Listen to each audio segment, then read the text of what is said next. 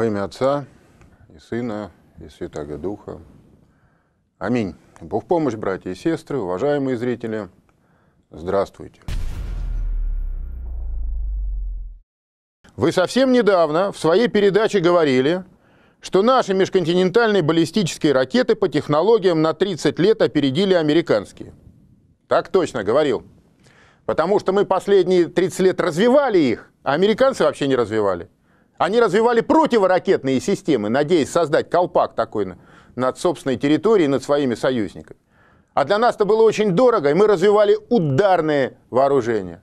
А получилось в результате, что мы-то ударные развили, и новое поколение ракет создали, а американцы этот свой колпак противоракетный все куют, куют, куют, куют, бедные, умаялись уже, но никак не могут его выковать. Понимаете, какая штука? Да. Так вот, значит, э, зритель пишет – вот говорил я это, да? И я было, пишет он, поверил вам, то есть мне. Но вот недавно интернет буквально взорвался статьями. Он прислал несколько ссылок. Покажите, пожалуйста, да? Вот, это статьи, в которых говорится, что ведущие американские военные эксперты констатировали прямо противоположное положение дел. Это мы отстаем от них в развитии ядерного щита. Как вам не стыдно обманывать зрителей? Это мне пеняет вот э, этот э, сердитый зритель. Как вы думаете, чему мы поверим, вашей дилетантской болтовне или мнению группы авторитетных международных экспертов? Ответьте мне, если сможете. Если не ответите, и сам вашу передачу смотреть не буду, и всем знакомым расскажу, что вы шарлатан. Вот.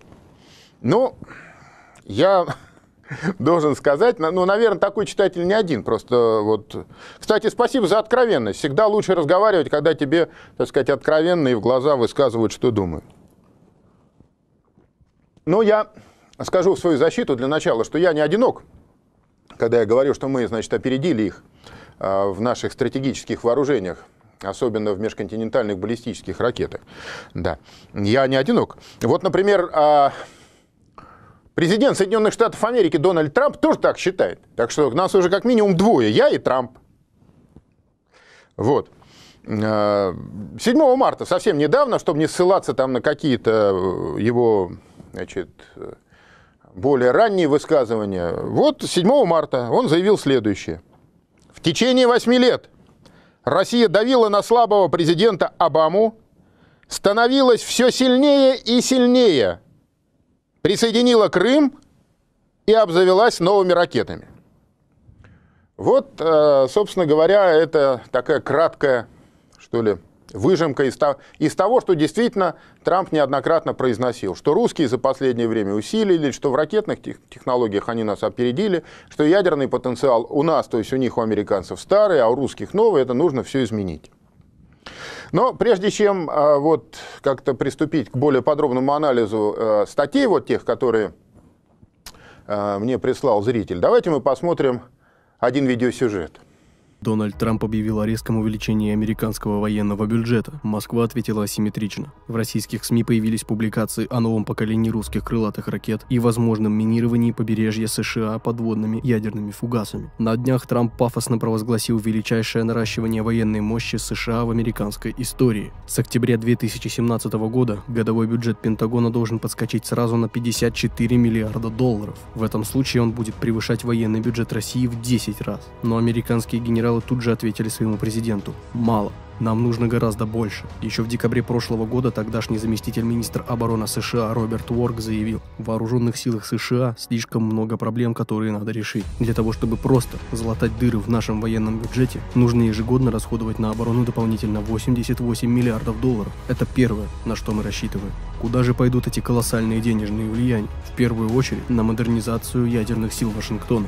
По сути дела, Трамп объявил о начале новой гонки вооружений в ядерной сфере, о начале нового крестового похода Америки против сил мирового зла во главе с коварным Путиным и злобными русскими националистами. Американская пресса пишет, Трамп хочет вернуть США утерянное лидерство в ядерном оружии. Он считает, что Соединенные Штаты недопустимо отстали в этой области от России и теперь должны значительно усилить и расширить свой ядерный потенциал. Договор СНВ-3, ограничивающий количество американских МБР, по его мнению, односторонняя сделка. Плохая сделка. А договор об уничтожении ракет средней и меньшей дальности, говорит Трамп, Россия нагло нарушает, и это не должно остаться для нее безнаказанным. Чем ответит на этот американский вызов Москва, что в ответ предпримет Кремль? Какие сюрпризы для американских генералов в запасе у Путина? Бывший начальник русского генерального штаба, генерал армии Юрий Балуевский, отвечает на эти вопросы так. Россия не будет соревноваться с США в расходах на оборону. Мы знаем, как обеспечить оборону своей страны с меньшими затратами. Мы уже нашли асимметричные ответы. Что же это за загадочные асимметричные ответы, о которых нередко говорят наши политики и генералы? 16 лет назад, в 2001 году, когда США в одностороннем порядке вышли из стратегического договора по ПРО и начали форсированными темпами наращивать свою противоракетную оборону, Путин сказал. Я думаю, что не нужно быть никаким экспертом, чтобы понять. Если одна сторона хочет, либо будет иметь над собой зонтик от всяческих угроз, то тогда у нее возникает иллюзия, что ей все можно. И тогда, и тогда агрессивность действий многократно будет возрастать. А угроза глобальной конфронтации достигнет очень опасного уровня. Тогда нашим ответом Вашингтону стало ускоренное развитие ударных возможностей российских ракет. Затратив в сто раз меньше денег, чем Америка, Россия асимметрично создала новое поколение МБР и гиперзвуковых боевых блоков, способных маневрировать в полете по непредсказуемой траектории, обнулив таким образом на ближайшие 25-30 лет любые попытки американской ПРО перехватить наши ракеты. Чем же Россия ответит сейчас на новый вызов со стороны американских ястребов? Военный обозреватель комсомольской правды полковник Виктор Баранец пишет. Вот американцы размещают у границ России свои танки, самолеты, батальоны спецназа, а мы в ответ втихаря минируем побережье США ядерными ракетами-кротами. Они зарываются глубоко в грунт и спят до боевой команды. Что же это за ядерные кроты, о которых говорит Баронец? Скорее всего, речь идет о создании в России совершенно нового вида стратегического вооружения, о подводном боевом роботе с искусственным интеллектом, способным самостоятельно под водой доставлять термоядерный заряд колоссальной мощности в любую точку мирового океана. Первые утечки о скорой реализации этого проекта под названием «Статус-6» появились в российских СМИ в конце 2015 года, когда на военном совещании у Путина объектив оператора якобы случайно выхватил из-за генеральского плеча совершенно секретный материал. Материал этот содержал сведения о новой русской умной мегаторпеде, имеющей дальность хода до 10 тысяч километров, глубину погружения свыше 1000 метров и скорость хода до 200 километров в час, и ядерный заряд фантастической мощности в 100 мегатонн. Эта суперторпеда по замыслу ее создателей предназначена для поражения важных объектов экономики противника и нанесения гарантированного неприемлемого ущерба территории страны путем создания зон обширного радиоактивного загрязнения, непригодных для осуществления в этих зонах военной, хозяйственно-экономической и иной деятельности в течение длительного времени. Таким образом, она является подводным аналогом тяжелых межконтинентальных баллистических ракет, самым известным образцом которых является наша МБР «Воевода», которая за свою испепеляющую мощь получила на Западе зловещее прозвище «Сатана». Но статус 6 будет еще круче. Максимально возможный заряд «Воеводы» не превышает 25 мегатонн, а новая русская суперторпеда сможет нести боевой блок в 4 раза мощнее, чья колоссальная разрушительная сила будет соответствовать взрыву 100 миллионов тонн обычного взрывчатого вещества. При этом она, в отличие от межконтинентальных баллистических ракет, не попадает ни под одно ограничение договора СНВ-3, не нарушает ни единого международного обязательства России. По расчетам специалистов, высота искусственной волны, созданной чудовищным взрывом боеголовки статуса на расстоянии до 20 километров от эпицентра, будет составлять около 200 метров, на расстоянии 200 километров от 10 до 20 метров, а на расстоянии в 1000 километров до 4 метров. Соответственно, количество жертв такой мегаторпеды, взорванной где-нибудь на рейде Нью-Йорка, Сан-Франциско или Лос-Анджелеса, может составить в зависимости от плотности населения и размеров мегаполиса до 16 миллионов погибших и почти 40 миллионов раненых большая часть которых впоследствии тоже умрет. Ну и, конечно, нельзя исключить возможности заблаговременного развертывания наших подводных супербомб, которые в угрожаемый период затаятся в заранее заданных точках, неподалеку от вражеского побережья, и смогут годами ожидать внешнего сигнала, внешней команды на подрыв. А учитывая тот факт, что у берегов США, например, находятся протяженные зоны геополитических разломов на границе гигантских литосферных плит, можно представить, какой эффект возымеет там серия донных термоядерных взрывов мощностью по 100 мегатонн каждый. От этой страшной перспективы Америку не сможет спасти никакое увеличение ее военного бюджета, как бы пафосно Дональд Трамп не объявлял о величайшем наращивании военной мощи США. Асимметричный русский ответ, как и 15 лет назад после выхода Вашингтона из договора по ПРО, вновь обнулит любые попытки США добиться добиться одностороннего ядерного превосходства. Сколько бы сотен миллиардов долларов не вбухали в эту бредовую идею ястреба из Пентагона. Более того, как ни странно это прозвучит, новый русский боевой подводный робот, несмотря на свою чудовищную разрушительную силу, станет главным защитником мира на всей планете, самым прочным и надежным гарантом от глобального ядерного конфликта, ибо наличие у России такого сверхоружия делает совершенно бессмысленными все гигантские затраты США на противоракетную оборону и окончательно хоронит любые надежды Запада на военную победу над Москвой, делая переговоры и поиски компромиссов единственным, безальтернативным способом поддержания международной стабильности и глобального баланса сил. Давайте вернемся э, к тем статьям, о которых написал зритель. Действительно, э, где-то, наверное, с неделю назад по э, сети прошел просто какой-то пароксизм, конвульсия какая-то, значит, массовая перепечатка. Ресурсы один с другого перепечатывали, значит, статью о том, что вот ведущие американские военные эксперты значит, заявили о том, что модернизация американских боеголовок – даже не ракет, а боеголовок. И даже не боеголовок, а отдельно взятого взрывателя на этих боеголовках. Так э, столь резко повышает их эффективность, что, по сути дела, значит, теперь чуть ли американцы не безнаказанно могут с первым ударом уничтожить все наши, так сказать, шахтные а, пусковые установки межконтинентальных баллистических ракет. Но для того, чтобы понять, на самом деле, о чем речь, нужно обратиться к первоисточнику. Значит, вот он, этот первоисточник. Это Э, статья, которая была напечатана в журнале «Бюллетень ученых-атомщиков». И статья эта называлась «Как модернизация ядерных сил Соединенных Штатов Америки подрывает стратегическую стабильность новый сверхточный супервзрыватель». В статье этой говорится применение новых революционных технологий радикально усилит ударный потенциал американских МБР.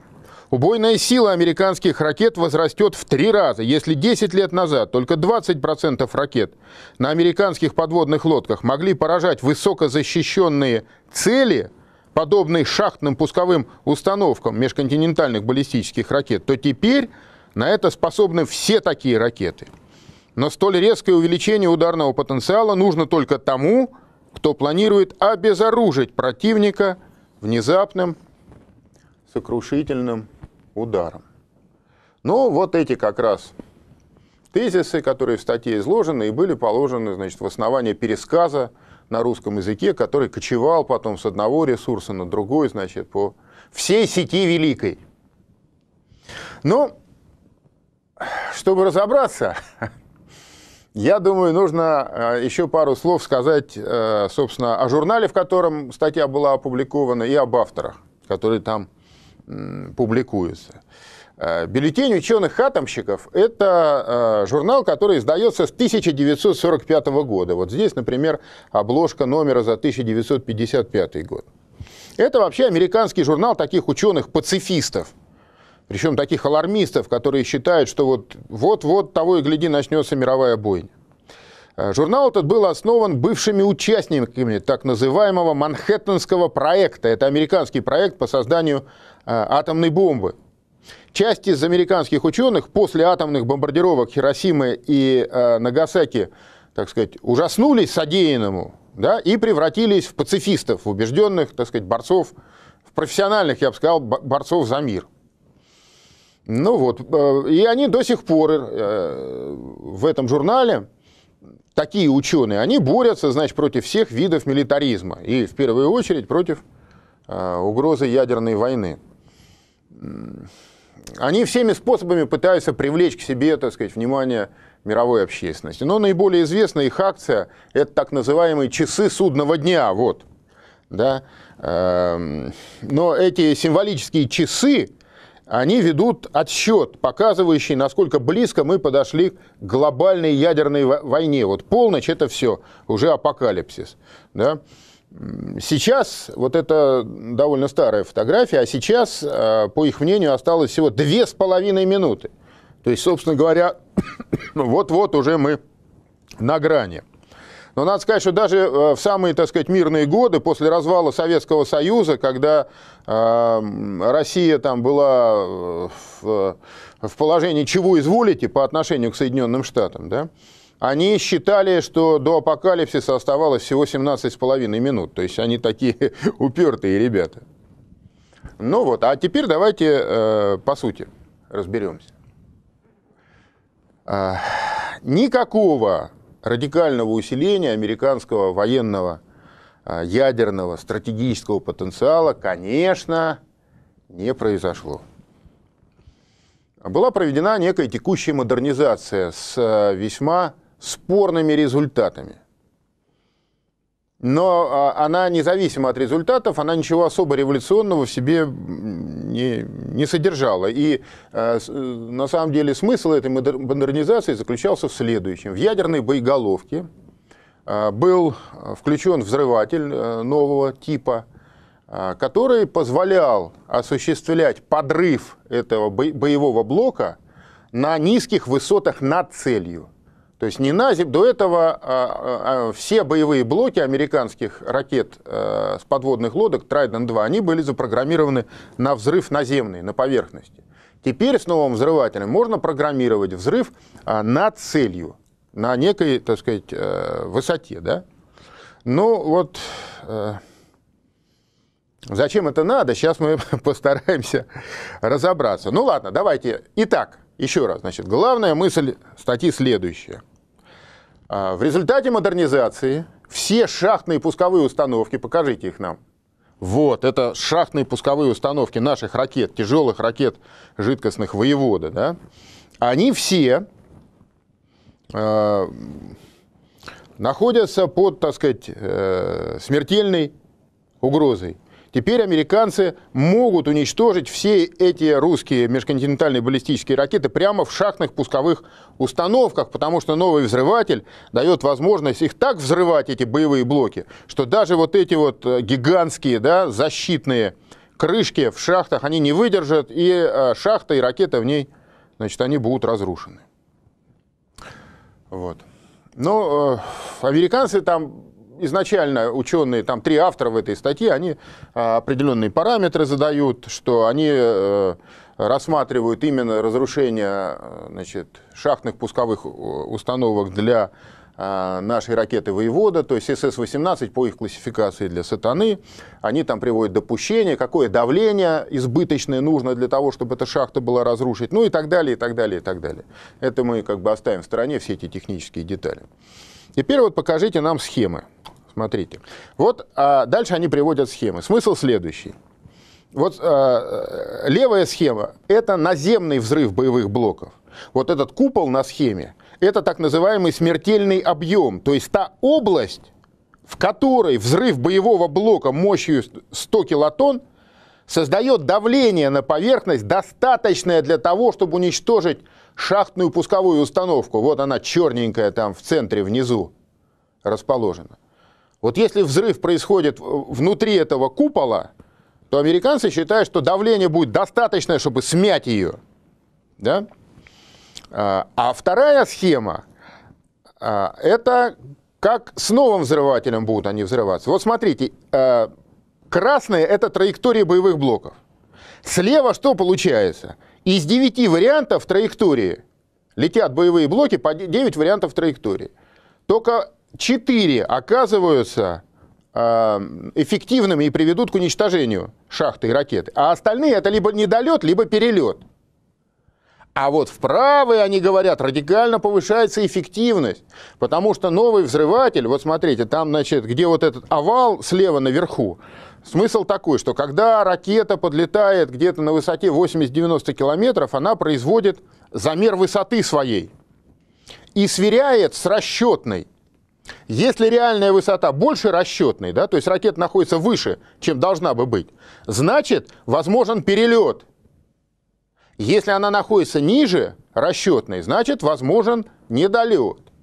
И вот они летят, вот эти 9 а, траекторий боеголовок, но за счет того, что компьютер высчитывает оптимальную точку подрыва, все как бы 9 этих самых вот а, боевых блоков оказываются внутри смертельного объема. И таким образом, по мнению значит, американских ученых, все радикально э, ухудшается ну, для, для нас с вами, для наших ракет, и радикально повышается эффективность. Но э, схема-то, понимаете, схема есть схема, нарисовать можно что угодно, бумага все стерпит. Вот. А если на это дело посмотреть с такой точки зрения, ну, мало-мальски э, здравой, то сразу возникает целый ряд вопросов. Ну вот, первый вопрос. Почему на этих схемах, верните, пожалуйста, их покажите, да? Почему на этих схемах а, а, боевые блоки падают на землю, траектория их, под углом 45 градусов. Вот, смотрите. Под углом 45 градусов они падают. В жизни это все совершенно не так. Они летят по баллистической кривой. Покажите нам фотографию баллистической кривой. Вот, пожалуйста. Раз. Там несколько фотографий вы сейчас увидите, но смысл заключается в том, что это межконтинентальные баллистические ракеты, то есть они летят там на, э, так сказать, высоте э, в полторы тысячи километров, на дальность там 6, 8, 10 тысяч километров. И на этой дальности, с такой высоты, когда они попадают в атмосферу на огромной скорости, они начинают резко тормозиться, да? резко тормозиться, и падают они на цель в результате практически отвесно. Не под 45... Вот, это а, следы в атмосфере от боевых блоков тех самых американских ракет. То есть они падают на цель практически отвесно. А если они отвесно падают. Верните, опять же, вот эти предыдущие схемы. Я прошу прощения, что приходится мне... Нет, схемы с э, траекториями. Вот. А вот представьте себе, разверните вот эти вот красные линии не под 45 градусов, а там под 80 или 85 градусов. И все. И вся, так сказать, вся эффективность вот этого супер, э, сверх-супер-пупер взрывателя, она тут же, так сказать, обнулится. Вот под такими траекториями никакие боеголовки никогда не падают никуда. Это я уж не знаю, зачем ученые так нарисовали. Очевидно, очень хотелось им, так сказать, подкрепить свой главный тезис.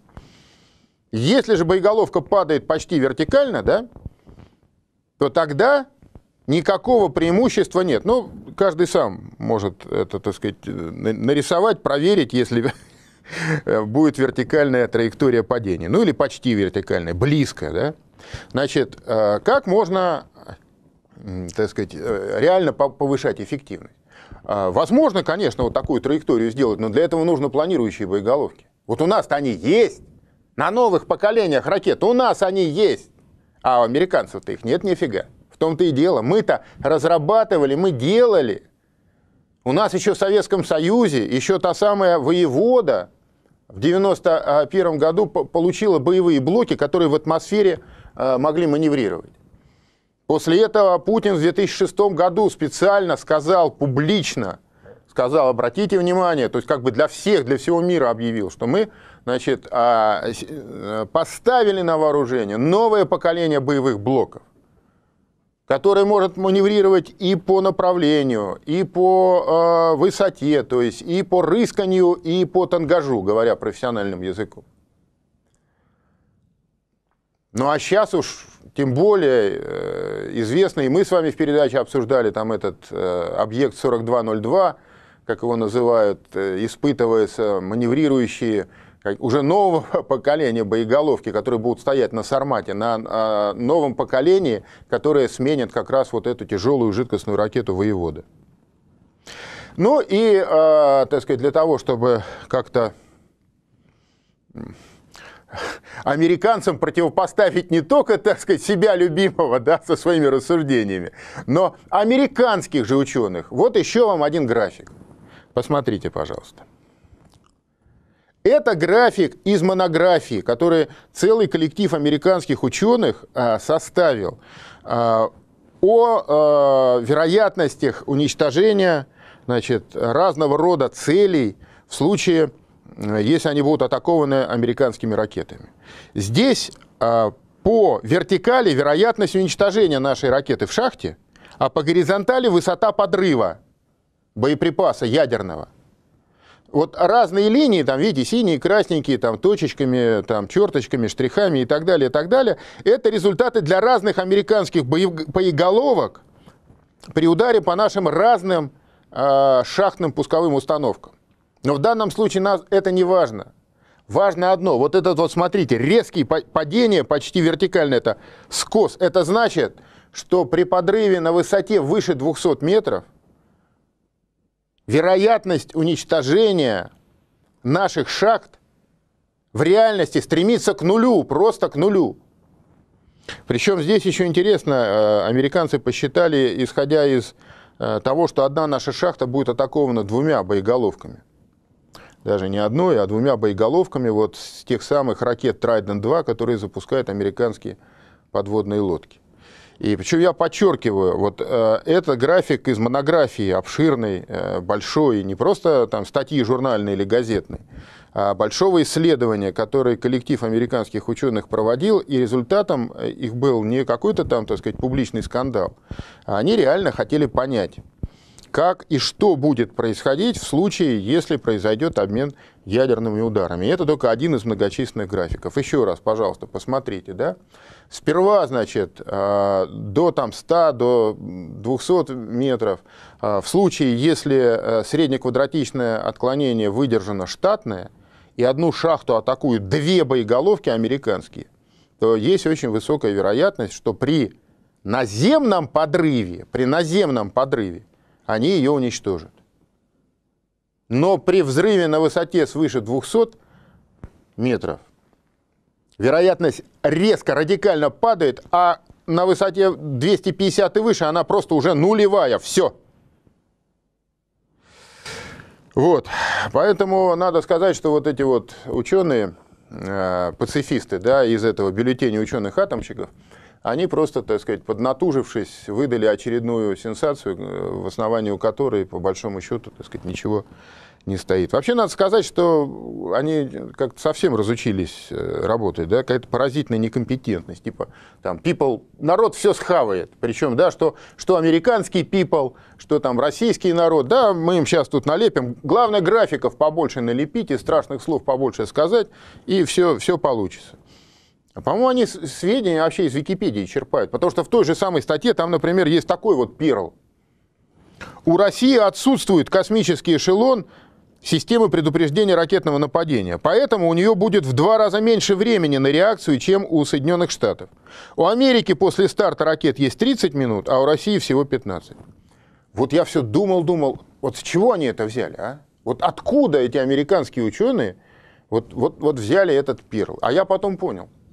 Они залезли в Википедию, ребята. Они просто тупо залезли в Википедию, понимаете?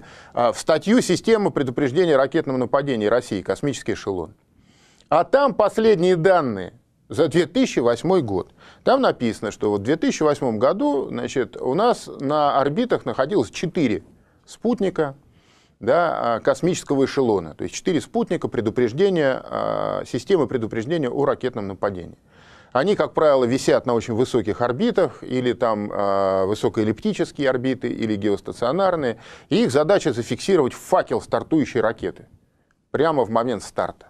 А потом, когда эта ракета выходит на определенную высоту, ее уже принимают наши станции, там типа Воронеж или там Дон, Дарьял, вот те станции, которые по периметру э, наших границ расположены, и они уже дальше ведут эту ракету.